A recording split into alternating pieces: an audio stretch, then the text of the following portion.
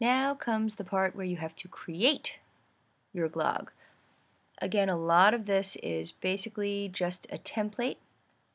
Uh, you could get rid of a lot of these things when you click on the different information. There are uh, the trash can that you can delete, or you can, you know, if you wanted to add your own pictures, your own sounds. Obviously, you are not going to have uh, these pictures there. Um, but again, the written work is going to be taken directly from your uh, fact sheet. So if you take a look, this is mine on Vermeer.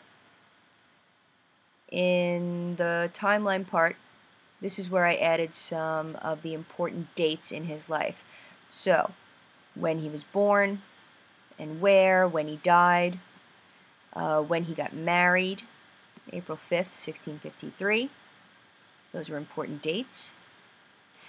Uh, the important events, that is copied right from the important people in my artist's life and why, and important events in my artist's life.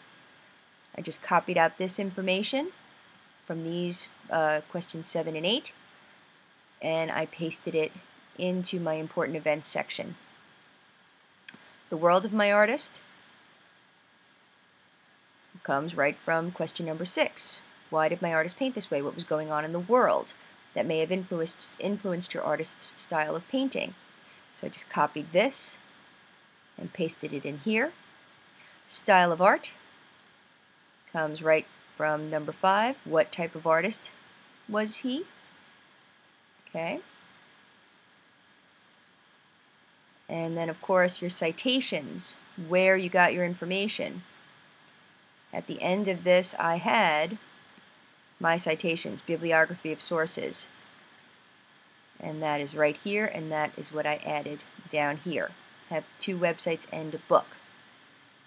Okay, so to start out, I might get rid of some of this, all the paintings, so that you can then add your own.